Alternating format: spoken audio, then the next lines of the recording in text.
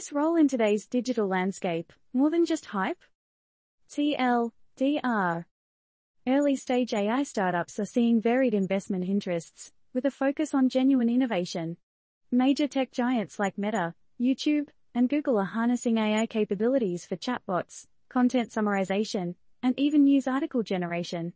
Meanwhile, China makes strides in the AI domain to rival OpenAI. The integration of AI across various sectors, from music to dating apps, customer support to translations, showcases its growing impact. Yet, does this rapid evolution carry more substance than just a trend? In today's fast-paced digital age, AI is more than just a buzzword. Entrepreneurs are rushing to capitalize on the AI trend, but investors exhibit selective interest, focusing on startups that truly innovate. But what does this innovation look like?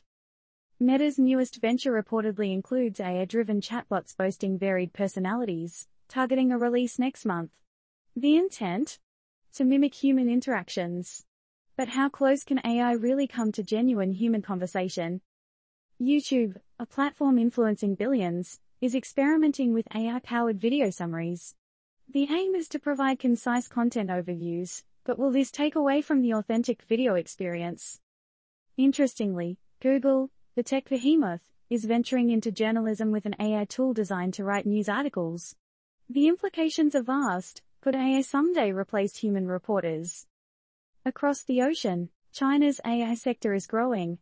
With ambitions to have its own version of OpenAI, Sogou founder Wang Xiaochuan is edging closer to that reality with startup Chuan Intel. As global competitors rise, how will this shape the AI battleground? In a surprising twist, the music world is experimenting with AI, pondering if AI created compositions can win Grammys. While they're not completely accepted yet, the boundary between human creativity and machine generation blurs. Can an AI masterpiece evoke the same emotions as a human one? Even the personal world of dating isn't untouched. Teaser's dating app transforms users into chatbots. Is this the future of virtual flirting? And if so, at what cost to genuine connection? Lastly, AI's integration in daily tools, like OpenAI's ChatGPT app or TikTok's Tako chatbot, underlines its expanding reach. With half a million downloads in mere days for ChatGPT, user acceptance is evident. But, is the rapid adoption a testament to utility or just a fleeting trend? The AI arena is expanding at breakneck speed, integrating with almost every aspect of our lives.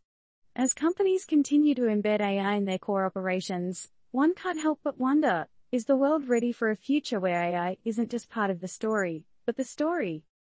First seen at Tech Crunch. What do you think? Is AI's deepening integration a boon for modern society or a cautionary tale in the making?